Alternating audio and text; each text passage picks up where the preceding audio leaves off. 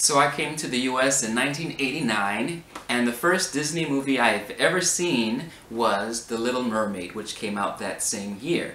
So my cousins and I, my cousins being all girls, we loved the movie, and we used to sing and pretend to be characters in the movie. And of course, I was always Prince Eric and Sebastian. Of course, I love Sebastian. So, one of the most popular songs, I'm going to see if I can sing it and how well I would do off the top of my head. And we'll do a countdown to see how well I do in terms of remembering the words. Green coffee. Look at this stuff, isn't it neat? Wouldn't you think my collection's complete? Wouldn't you think I'm the girl, girl who has everything? Look at this trove, treasures and all. How many can one cavern hold? Look at the round here, you think, sure, she has everything. I've got gadgets and gizmos aplenty. I got who's it and what's it galore. You want thingamabobs? I got 20. But who cares? No big deal. I want more.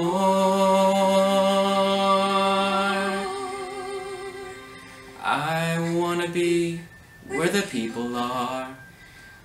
Oh, I wanna see, wanna see them dancing, walking around on those, what do you call them? Oh. Feet. Flipping your fins, you don't get too far. Legs were required for dancing, jumping in, strolling around on the, what's that word again? Street. Up where they walk, up where they run, up where they stay all day in the sun, wandering free. Wish I could be part of that world. What would I give if I could live out of these waters, what would I pay to spend the day warm on the sand? When you're on land, they understand, and they don't reprimand their daughters. Sick of, sick of swimming, ready to stand and ready to know what the people know. Ask them my questions and get them answered. What's a fire and why does it? What's the word? Burn. When's it my turn? Wouldn't I love, love to explore that shore up above?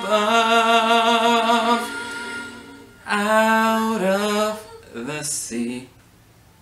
Wish I could be part of that world.